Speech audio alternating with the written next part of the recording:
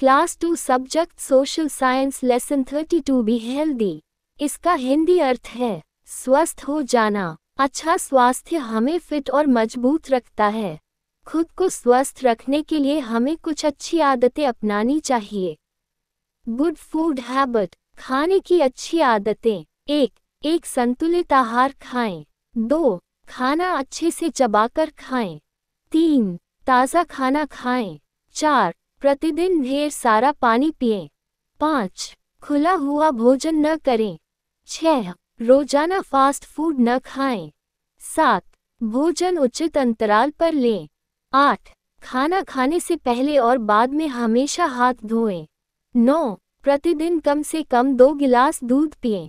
Good physical work अच्छा शारीरिक कार्य। एक, रोज़ाना कुछ गेम खेलें। दो, दौड़ना कूदना और कूदने जैसे कुछ सरल व्यायाम करें।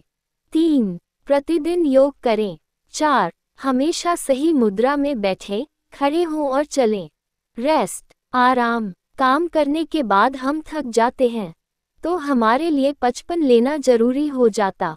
कुछ बाकी, ये हमारे शरीर को तरोताजा कर दोबारा काम करने की ऊर्जा देता है।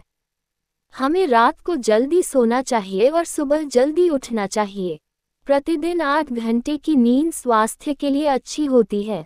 क्लेनलीनेस स्वच्छता। एक, प्रतिदिन स्नान करें और साफ़ तौलिए का प्रयोग करें। दो, साफ़ कपड़े पहने।